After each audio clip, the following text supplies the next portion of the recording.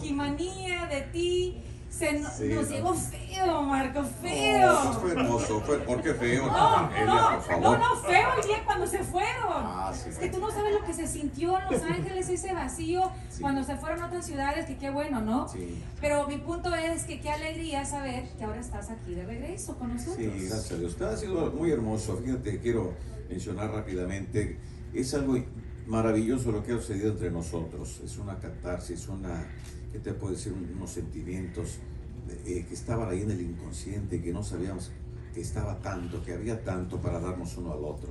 La verdad que todos mis compañeros, yo los empecé a ver, nos, nos abrazamos como no tienes idea, compartimos en estos días, en estos tiempos, como no lo habíamos hecho en los últimos, ¿qué te puedo decir? Siete o ocho años de aquella época. Aquello se convirtió en un ritmo de trabajo, en, en una maquinaria, y dejamos de darnos abrazos, dejamos de hablarnos como nos hablábamos en un principio. Y ahora este, volvemos a sentir eso después, imagínate también con la madurez de cada uno de los muchachos, ¿no? Después de 25 años no somos los de aquellos años. Entonces estamos más sensibles, más, eh, eh, ¿qué te puedo decir? Más identificados con lo que somos, más eh, humanos.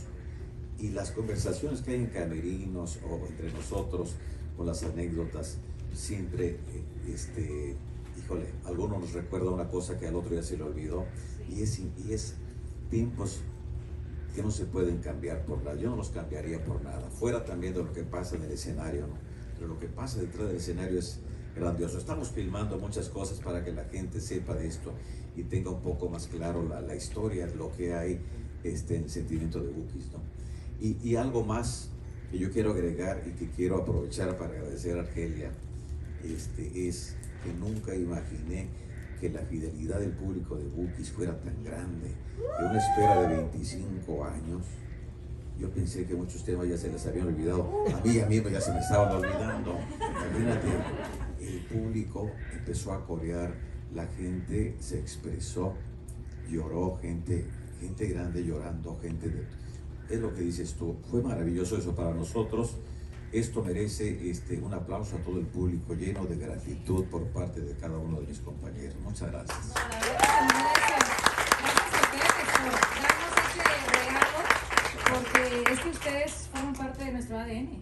De verdad que sí, se lo han ganado a pulso, pero gracias por compartir esa magia y qué bueno que qué bueno saber que viene, no sé, como una recopilación de esta aventura. Sí, sí, ya sí. nos dirás más adelante, Muchas ¿no? anécdotas, muchas cosas que pueden aportar, pues algo hermoso, ¿no? Para la gente que empieza, la gente que... Algo, hay algo importante que debemos comer para cometer errores, a decir algo que no debimos, eh, ¿me entiendes? Entonces, eso de pronto pues eh, se nos escapa y no, no- no sabemos cómo reconstruirlo, ¿no?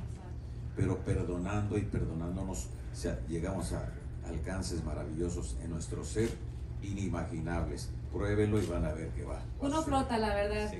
Pero hablemos ahora de... de- Un amor secreto. Mi eterno amor secreto. Esa pregunta es para Cristi. En honor suyo lo vamos a agregar. ¿Dónde está usted? Le hablan.